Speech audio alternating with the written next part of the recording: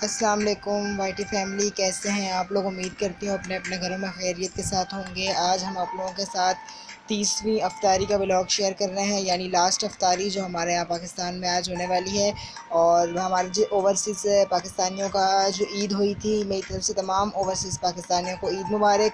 और हमारे पाकिस्तानियों को भी एडवांस में ईद मुबारक। अच्छा ये हम लोगों ने आज खरबूजे काटे थे और उसके ऊपर ये चेरी आप लोगों को नज़र आ रही होगी। और ये है चना चाट। चना चाट आप लोगों को नज़र आ रही होगी। चना चाट है और इसके ऊपर क्रश किए हुए वो हैं धन मिर्ची वगैरह। और ये सिरके वाली चटनी है। और ये जो है इमली वाली चटनी है कैचअप वाली।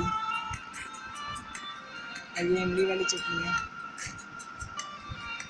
और ये जो है हमारे कबाब्स और हरी मिर्च के पकड़े हैं।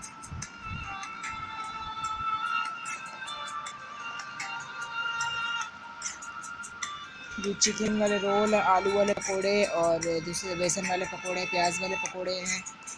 चिकन वाले रोल भी हैं इसमें। और ये तुक मरंगे वाला शरबत है मशीरी का। और ये खजूरें हैं। और ये स्प्राइट की बोतल है लेमन स्प्राइट की। और ये गोरमे की शक्कर बोतल है। और ये मैंगो जूस है। और ये वाला जो है वो इमली वाला शरबत है।